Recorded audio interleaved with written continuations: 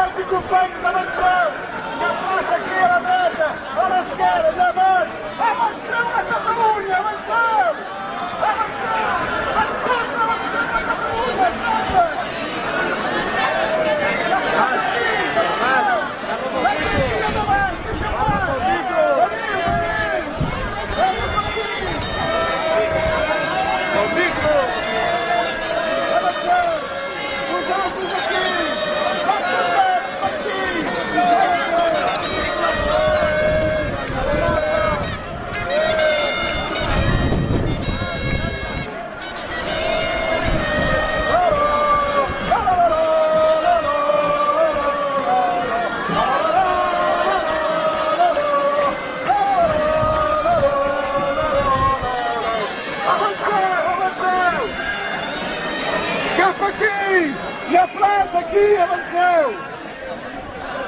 Avanceu!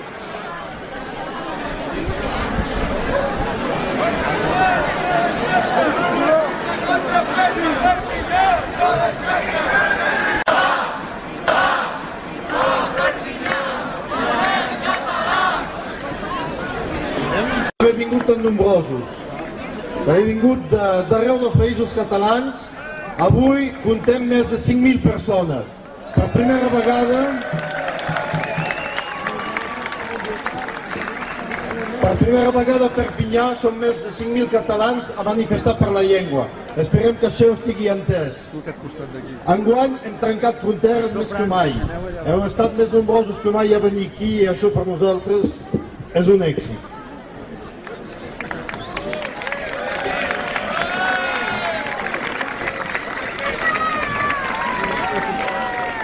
Avui, dissabte 7 de novembre, quan a Arenys de Munt s'ha fet un referèndum sobre la independència de Catalunya. Quan...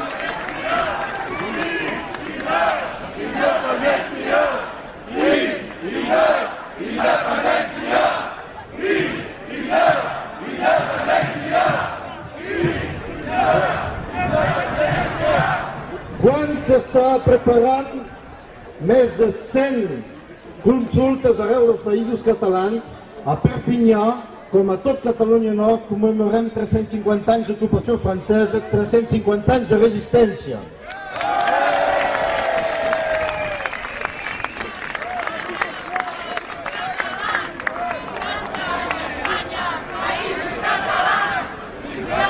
El 7 de novembre, el 7 de novembre del 1659, sense que hi hagués cap consulta a les institucions catalanes, el Reialme de França i la monarquia espanyola ens van fer servir a nosaltres, nord-catalans, com a manera de canvi, amb la signatura del Tractat dels Pirineus.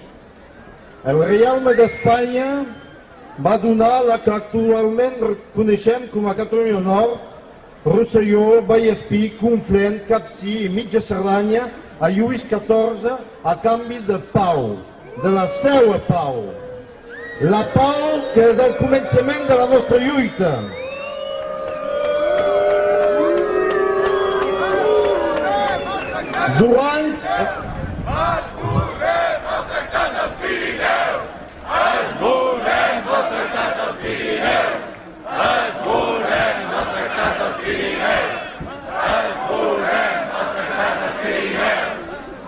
Durant els 40 anys següents, milers de catalans i catalanes decidiren resistir a l'ocupant francès.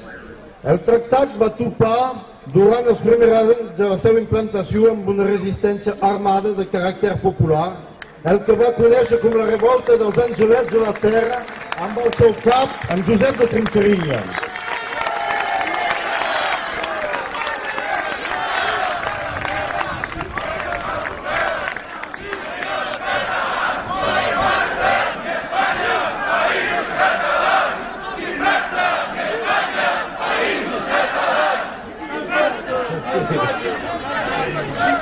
No cal oblidar aquella resistència popular, motiu pel qual França s'ha dedicat durant 350 anys a convertir Catalunya Nord en el sud pobre de l'hexàgon.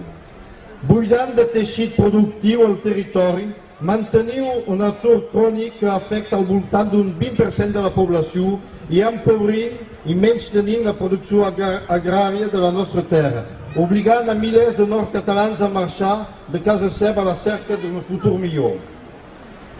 Cada cop més ens parlen de la nova Europa, d'una Unió Europea que diuen que preconitza l'obertura de les fronteres. Permet que només en quedi una més tancada que mai, i l'heu comprovat avui. Entre l'estat francès i l'estat espanyol, responsables tant l'un com l'altre de la nostra situació i de la nostra divisió nacional. Divisió que els estats controlen com els hi convé. Amb el tancament de les fronteres audiovisual que ens impedeixin tant al nord com al sud de la nació rebre les cadenes de televisió catalana en tota llibertat.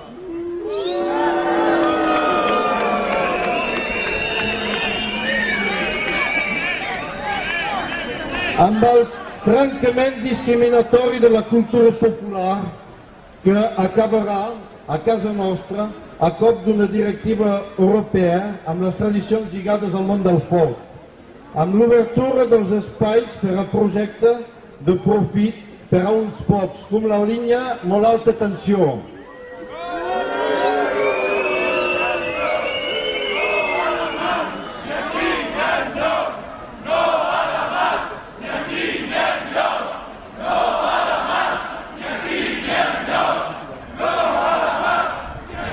amb un intent sistemàtic des de París d'esborrar-nos com a catalans, han volgut esborrar la nostra història, prohibint-nos de parlar la nostra llengua, han intentat de matar la nostra cultura.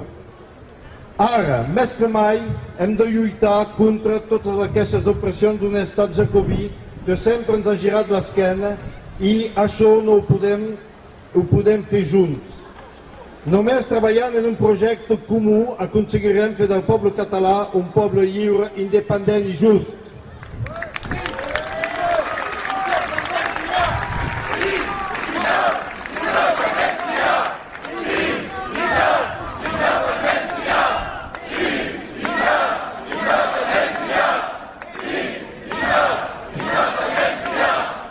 Perquè no només l'estat francès oprimeix Catalunya Nord, simplement perquè no només l'estat francès ocupa els països catalans.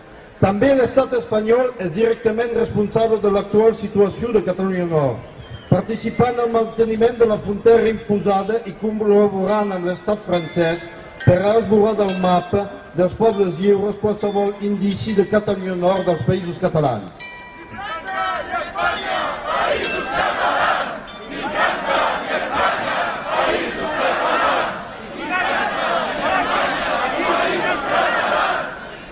Ara, més que mai, cal intensificar els vincles i les xarxes a banda i banda per tal de construir un, un futur junt de llibertat per un sol país.